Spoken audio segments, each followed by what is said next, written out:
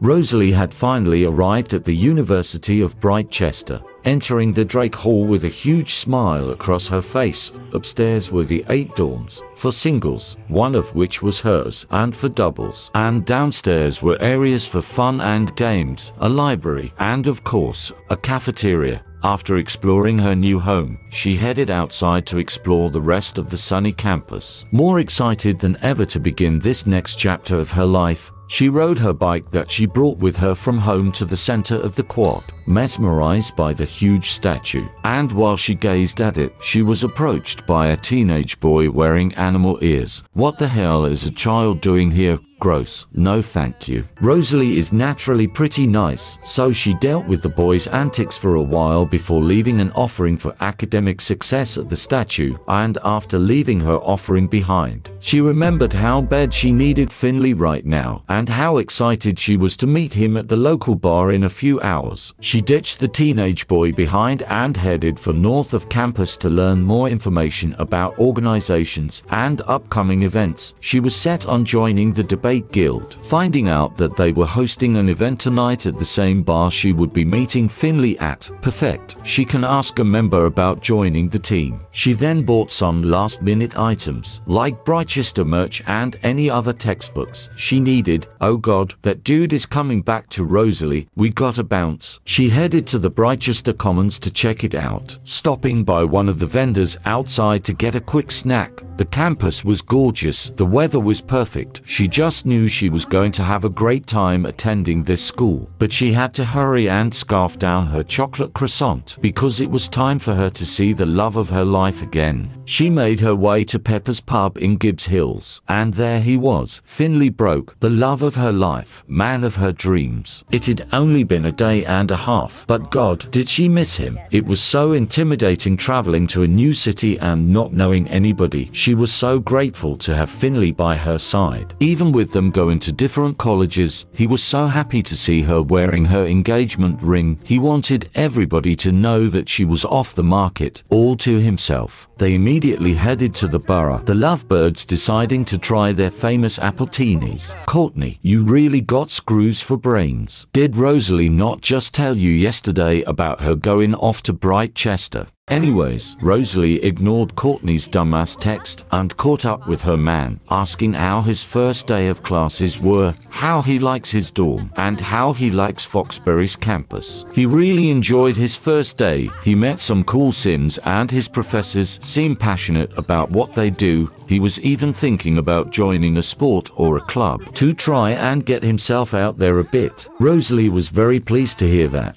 Finley is a bit introverted and doesn't have many friends. She really hoped he would conquer his social anxiety and make some friends over these next few years. She then told him about how the debate guild would be meeting here tonight at 8. She was really hoping they would let her join. Well, since she'll have some schmoozing to do, Finley wanted to spend as much quality time with her as possible beforehand. They finished their drinks and headed upstairs so he could kick her ass at foosball. Rosalie Finley had agreed to meet with each other as much as they possibly could, whether that was between classes, before or after, or having sleepovers on the weekends. It was highly important to the two of them to keep their relationship strong and healthy. Kinda hard to do when you haven't told Finley your feelings about the engagement, Rosalie. But she promised herself that she would tell him soon. They still hadn't talked about it, and she really needed to know if marriage was something Finley wanted sooner or later. Rosalie hoped for later, otherwise, they may have a problem. She didn't want to think about that. Her life was too good right now for a fight with the one sim she knows in Britechester, so she focused on kicking his ass at foosball, only to be left defeated. He meant what he said, but that was fine, because Rosalie heard it getting noisier downstairs. The debate guild must be here. Why the fuck are all of the members old? It's never too late to get a college education, but is there anyone in this club that's Rosalie? Rosalie's age. Our heir was dying to introduce herself to the members, so she shared one last sweet moment with Finley before heading with him downstairs. Girl, please, you know you're gonna be riding that thing all night and be late to your first day of class. She went up to one of the members and impressed her with a polite introduction. Immediately, she sized Rosalie up and down. Girl, you are not one to judge. Holy shit, just one day in college and Rosalie is already being hit on.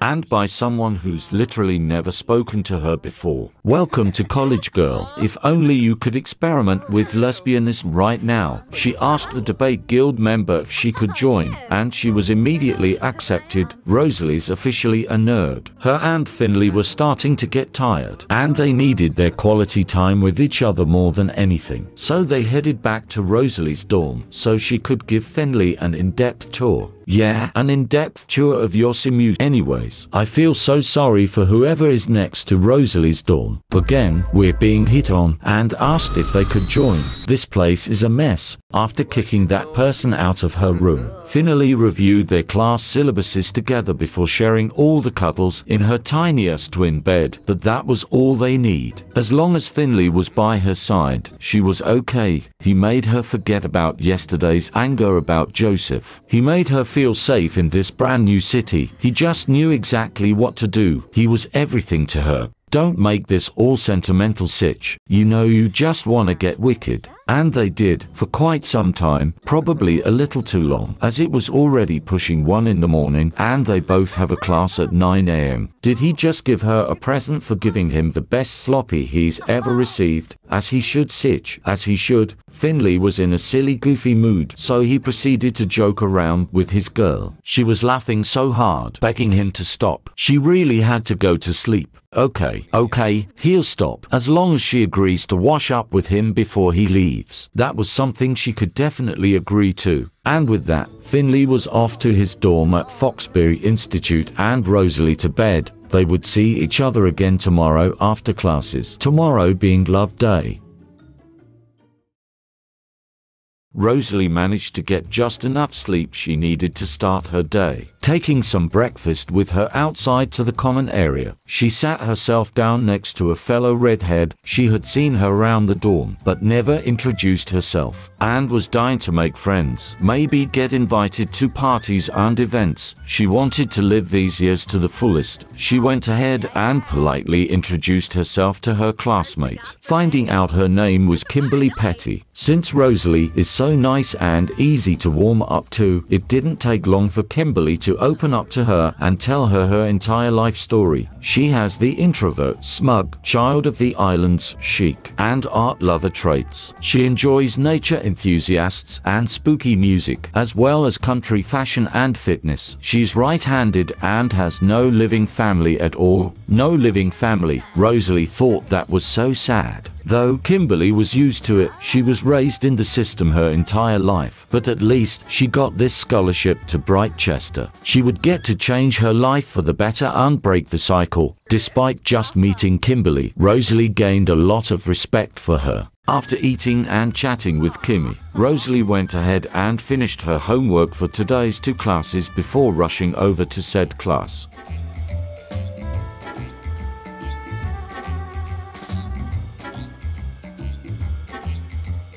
And right after her first class was over, her second one began.